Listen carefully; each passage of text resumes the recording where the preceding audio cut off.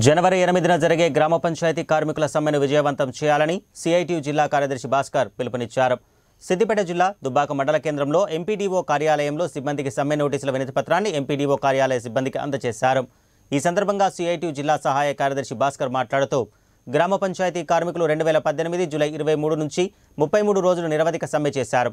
ఎనిమిది వేల ఐదు వందల జీతాన్ని పంచాయతీ సిబ్బందికి అమలు చేస్తామని ప్రకటించి సంవత్సరం తర్వాత కూడా రాష్ట్ర ప్రభుత్వం జీవో నెంబర్ యాభై ఒకటి జారీ చేసిన జీవోలో అనేక షరతులు పెట్టిందన్నారు.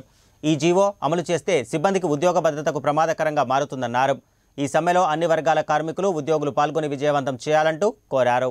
ఈరోజు సిద్దిపేట జిల్లా దుబ్బాక మండలంలోని వివిధ గ్రామ పంచాయతీలో పనిచేస్తున్న సిబ్బందికి సంబంధించిన సమస్యలపైన రేపు జనవరి ఎనిమిదవ తారీఖున దేశవ్యాప్తంగా అన్ని కార్మిక సంఘాలు తలపెట్టినటువంటి సమ్మెలో ఒకరోజు మేము కూడా పాల్గొంటామని చెప్పి ఈరోజు ఎంపీడీఓ సిబ్బంది గారికి వినతిపత్రం ఇవ్వడం జరిగింది. ఇప్పటికే రాష్ట్ర వ్యాప్తంగా గత సంవత్సరం ముప్పై మూడు రోజులు సమ్మె చేసిన సందర్భంగా రాష్ట్ర ప్రభుత్వం జీవో నంబర్ యాభై ఒకటి విడుదల చేసి ఎనిమిది వేల ఐదు వందల వేతనాన్ని అమలు చేస్తామని చెప్పి అనేక కొరివీలు పెడుతున్నటువంటి పరిస్థితి రాష్ట్రంలో కొన్ని నెలకొన్నది. దాంతోపాటు మల్టీపర్పస్ విధానాన్ని అమలు చేయాలని చెప్పి వారితో పాటు సర్పంచులు రాజకీయ వేధింపులకు గురి చేసే అవకాశాలు కల్పిస్తూ ఉంది.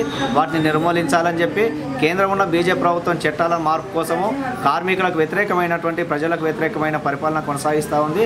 వీటికి వ్యతిరేకంగా దేశవ్యాప్తంగా జరగబోయే సమ్మెలో కార్మిక వర్గం పూర్తి స్థాయిలో పాల్గొంటూ జయప్రదం చేయాలని చెప్పి సిఐటి పిలుపునిస్తా ఉన్నాం